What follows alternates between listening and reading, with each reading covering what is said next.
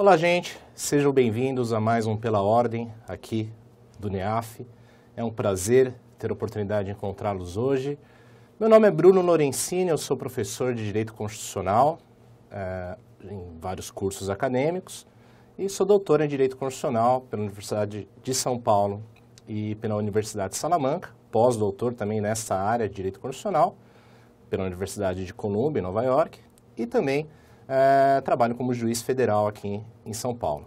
E hoje é, tenho uma alegria muito grande de apresentar para vocês um dos principais temas do direito constitucional e que para você que está prestando OAB ou qualquer concurso público, sem dúvida nenhuma é um tema muito importante, que é o tema do processo legislativo.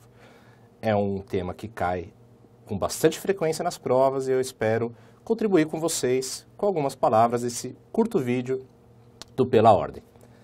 Então, quando nós começamos uh, a trabalhar o tema do processo legislativo, uh, a primeira coisa que nós devemos fazer é observar quais são as chamadas espécies legislativas. E o que é uma espécie legislativa? Uma espécie legislativa é o, é o tipo de norma produzida observando um rito constitucional específico. Então, espécie legislativa é aquela norma produzida observando o chamado processo legislativo, que é o rito previsto na Constituição. E quais são as espécies legislativas? É muito fácil, basta vocês observarem o artigo 59 da Constituição e vocês é, observarão ali enumeradas as chamadas espécies legislativas constitucionais, que novamente são aquelas que a própria Constituição traça o rito de produção. Então temos lá emendas à Constituição, leis complementares, leis ordinárias, leis delegadas, medidas provisórias, decretos legislativos e resoluções.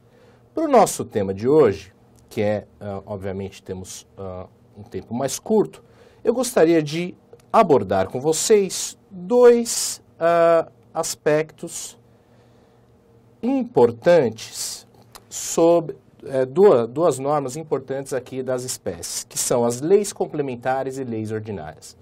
Mas em que aspecto nós vamos abordar a questão das leis complementares e das leis ordinárias? Exatamente realizando um confronto entre essas duas espécies legislativas. Há várias questões que vocês podem ter em mente.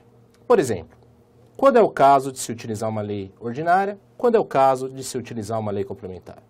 Há uma hierarquia entre leis ordinárias e leis complementares? Como, então, uh, enfrentar esses temas que, como eu disse para vocês, uh, caem muito nas provas? Então, gente, eu gostaria de começar com uma primeira abordagem, que é exatamente como diferenciar. Como diferenciar leis ordinárias e leis complementares. E aqui há uma regra. É uma regra é, muito boa porque ela não tem exceções. E, e essa regra é: só utilizaremos lei complementar, ou seja, o legislador só vai regular determinada matéria por lei complementar quando a Constituição expressamente assim dizer, assim disser. Ou seja, só nas hipóteses taxativas da Constituição a matéria será regulada por lei complementar. Então, essa é uma regra de ouro para você, você concluir quando utilizaremos, quando, na verdade, o legislador necessariamente regulará a matéria por lei complementar. Então, e, é, e temos alguns exemplos na Constituição é, dessas hipóteses em que lei complementar necessariamente deve ser utilizada.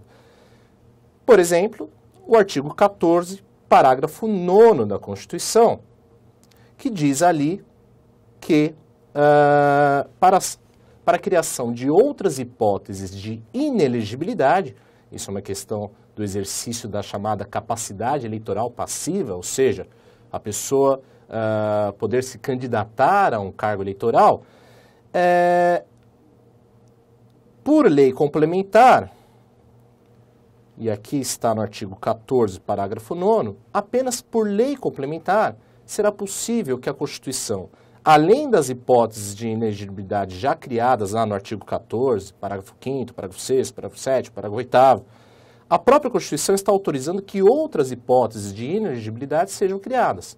Mas o que, que ela exige? A edição de uma lei complementar. Então, lei complementar estabelecerá outros casos de inelegibilidade. Ou seja, se for uma lei ordinária prevendo outras hipóteses de inelegibilidade, isso não será aceito. A Constituição exige lei, de, lei complementar. É, só para dar um exemplo, nessa hipótese do artigo 14, parágrafo 9, vocês observam a famosa lei da ficha limpa, que é a lei 135 de 2010. Essa lei 135 de 2010, para quem uh, não sabe, criou uh, outra hipótese de inelegibilidade, que é exatamente a condenação por alguns crimes ali arrolados na lei em segunda instância, mesmo que não haja o trânsito julgado. Mas, enfim, essa é apenas uma menção. Há outras hipóteses e vale a pena vocês conhecerem algumas hipóteses em que a Constituição exige a edição de lei complementar. Uma das hipóteses famosas, uma das hipóteses famosa é exatamente esse caso da, da criação de inelegibilidades. Um segundo aspecto uh, interessante que nós vamos trabalhar nesse confronto entre lei ordinária e lei complementar exatamente a questão da hierarquia. Será que a lei complementar é superior à lei ordinária? E por que uh, nós poderíamos dizer isso? Veja, eu já estou alertando vocês que essa questão é uma questão divergente na doutrina. Há posicionamentos para ambos os lados, ou seja, há aqueles que dizem que a lei complementar é hierarquicamente superior à lei ordinária. Com base em qual argumento quem aceita essa tese argumenta que uh, a lei complementar é superior? Basicamente, em razão do quórum. Nós veremos isso no próximo slide, mas o quórum da lei complementar é um quórum mais difícil do que o de uma lei ordinária. Porém, essa tese é minoritária. A tese majoritária é aquela que diz que não há hierarquia entre lei ordinária e lei complementar. E por que, que não há essa hierarquia? Porque, veja, como eu disse para vocês no slide anterior, a própria Constituição especifica as matérias que serão reguladas por lei complementar. Se não for matéria que a Constituição diz que será regulada por lei complementar, a conclusão óbvia que chegamos é ela será regulada por lei ordinária, porque a lei ordinária é subsidiária em relação à complementar, ou seja, quando a, a Constituição não exige lei complementar, lei ordinária regulará a matéria. Então veja, a própria Constituição está dizendo as hipóteses em que devemos utilizar a lei complementar e as hipóteses que devemos utilizar lei ordinária. Assim sendo, nunca haverá, teoricamente, teoricamente, uma lei ordinária regulando matéria que seja de lei complementar. Porque há uma divisão do ponto de vista da matéria realizada pela própria Constituição. Ou seja, elas não entram em confronto. Por isso que nós não, teve, não devemos falar em hierarquia. Se não há um confronto, não há por que dizer que uma lei uma lei complementar é superior a outra lei, uma lei ordinária. Então, essa é a tese majoritária. E é por isso que, se uma lei ordinária tratar de matéria de lei complementar, ela será inconstitucional. Por quê? Porque não está observando a Constituição, que exige lei complementar para aquela matéria. Agora, só faço uma ressalva, e a ressalva sempre é importante. Pode acontecer, até porque o direito, ele né, não é uma matéria exata, pode acontecer, às vezes, do legislador ter regulado determinada matéria que a Constituição exige lei complementar. Por exemplo, normas gerais de direito tributário, a própria Constituição determina que lei complementar deve regular. Suponha que venha uma lei ordinária e regule matéria uh, referente à norma geral de direito tributário. Qual seria a consequência disso? É, aliás, perdão, apenas fazendo aqui uma correção. É, caso uma lei complementar trate de matéria de lei ordinária, tá? Porque no exemplo que eu dei uh, seria inconstitucional, como já havia dito. Mas agora, quando uma lei complementar trata de uma matéria que seria de lei ordinária, a doutrina e a jurisprudência têm dito que ela não será inconstitucional, mas ela terá status de lei ordinária. O que significa esse status de lei ordinária? Significa que, embora tenha sido produzida aquela lei por um quórum mais difícil, que é o quórum de lei complementar, ainda assim é, ela poderá ser modificada da mesma forma como que se modifica uma lei ordinária, porque, embora ela tenha sido criada por um rito mais difícil, ela regula matéria que seria de qualquer lei ordinária. Ok? Ah, ah, mais uma questão que eu gostaria de enfrentar com vocês em relação ao que diferencia lei ordinária e lei complementar. Gente, em relação ao processo legislativo, qual é a diferença, então, em como produzimos uma lei complementar e como produzimos uma lei ordinária? O que diferencia o processo legislativo de cada uma dessas, dessas espécies legislativas? Pois bem, a resposta é quase nada. Quase nada altera, quase nada diferencia o processo legislativo de uma lei complementar do processo legislativo de uma lei, lei ordinária. Então isso fica muito fácil da gente entender a diferença. Apenas o quórum de aprovação é a diferença entre uma lei ordinária e uma lei complementar em relação ao processo legislativo. E a regra é simples.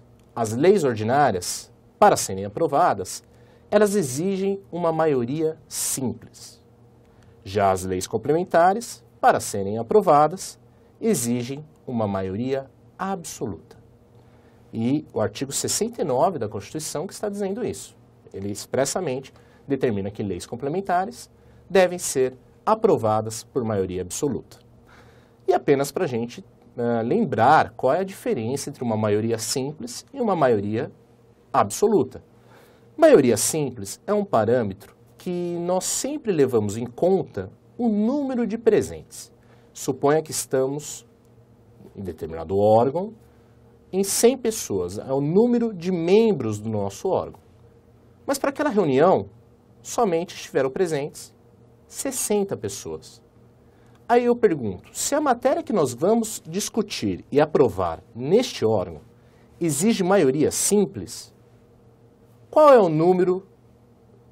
Lembre-se, temos 60 pessoas presentes.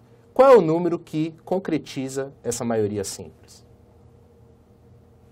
O número 31. Por quê? A maioria simples leva em conta o número de presentes. Em relação à maioria chamada qualificada, que maioria qualificada sempre terá como parâmetro o número total de membros do órgão deliberativo. Então, suponha, novamente, no mesmo exemplo, temos 100 pessoas uh, componentes do órgão ainda que estejam presentes 60 no dia, se para aprovar a matéria nós exigimos a chamada maioria absoluta, mesmo com o número de 60 presentes, nós teremos que ter uma votação de 51.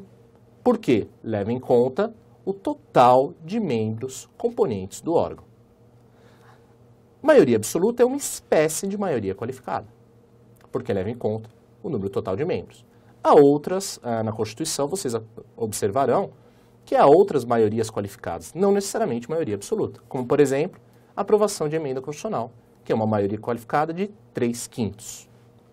Enfim, com esse uh, breve remember para vocês, uh, nós fazemos a distinção entre o processo legislativo de uma lei ordinária e o processo legislativo de uma lei complementar.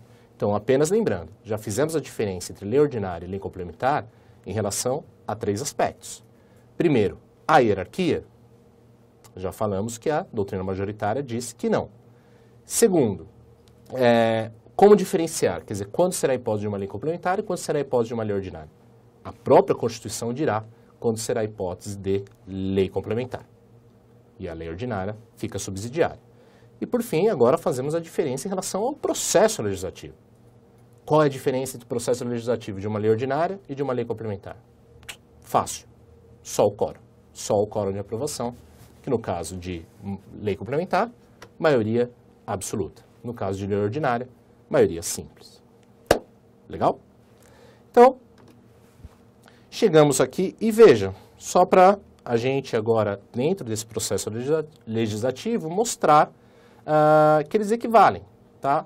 A iniciativa, por exemplo, quem que pode apresentar um projeto de lei complementar e quem que pode apresentar um projeto de lei ordinária? As mesmas pessoas. Estão lá no artigo as mesmas pessoas ou entidades, tá? Porque não apenas pessoa que apresenta projeto. Mas veja lá no artigo 61. No artigo 61, nós temos que a iniciativa de leis complementares e leis ordinárias é a mesma, tá?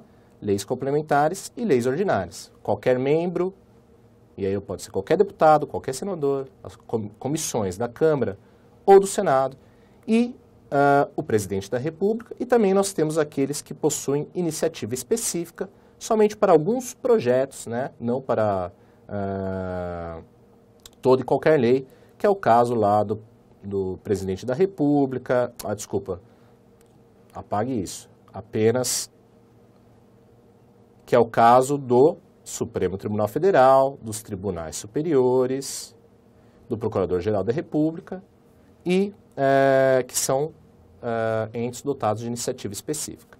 Os cidadãos, que é a questão da iniciativa popular, eles também podem apresentar sobre qualquer tipo de projeto de lei. E também mostro, eu também mostro para vocês que no artigo 64 aí da Constituição, o rito do processo legislativo, ou seja, quem discute primeiro, quem produz emenda, também é o mesmo tanto para leis ordinárias quanto para leis complementares.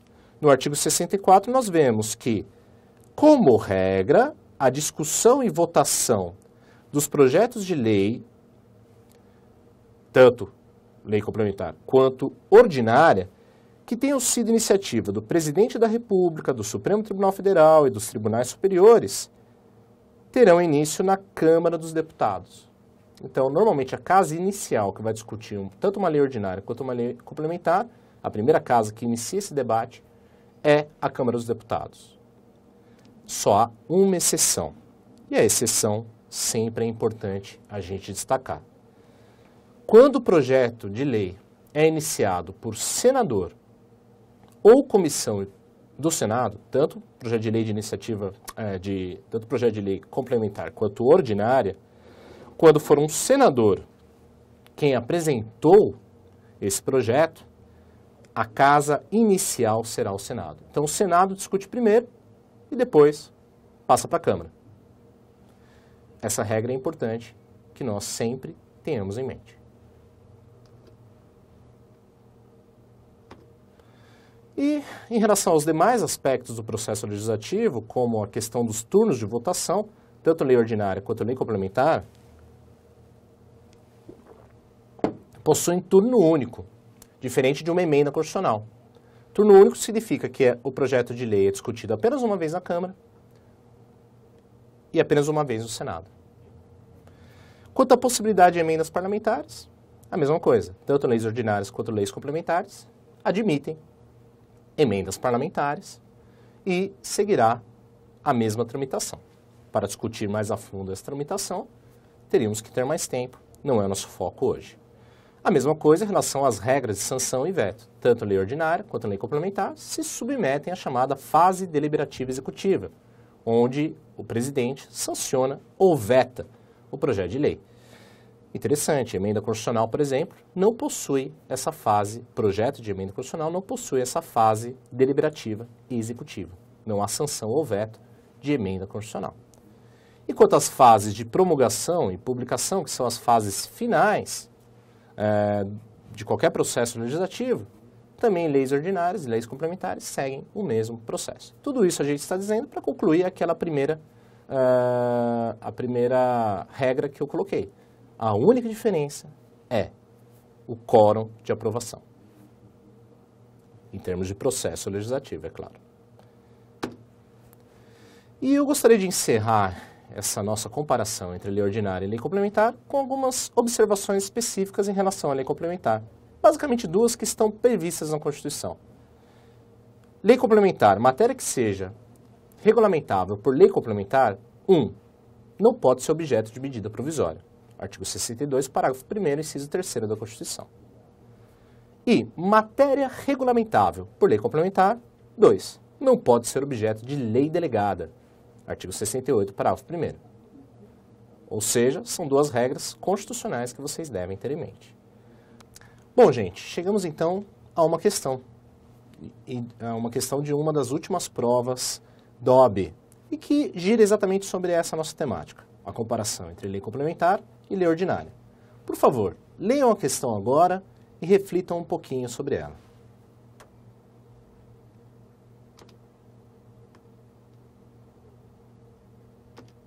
Falamos sobre todos os sistemas, hein? Vocês conseguem identificar qual é a alternativa incorreta entre essas? Pois bem, vamos analisar juntos. Olha só, na alternativa A, a lei complementar exige aprovação por maioria absoluta enquanto a lei ordinária é aprovada por maioria simples dos membros presentes à sessão, desde que presente a maioria absoluta dos membros de cada casa ou de suas comissões. Essa primeira questão está certa. Ela faz uma distinção entre quórum de instalação e quórum de aprovação. Gente, quórum de instalação é para que a gente possa votar a matéria. Quórum de instalação vai realmente exigir maioria absoluta, seja para uma lei ordinária, seja para uma lei complementar. Mas lembrem-se, a diferença entre lei ordinária e lei complementar está relacionada ao quórum de aprovação, o número de votos necessários para a matéria ser aprovada. Então essa alternativa A, ela está inteiramente correta. Na alternativa B, as matérias que devem ser regradas por lei complementar encontram-se taxativamente indicadas no texto constitucional e desde que não seja assunto específico de normatização por decreto legislativo ou resolução. O regramento de todo o resíduo competirá à lei ordinária. Essa questão está perfeita. É claro que eles tentam complicar um pouco a gente. Mas, a primeira parte, vocês já sabem, as matérias de lei, de lei complementar, elas são taxativas no texto constitucional.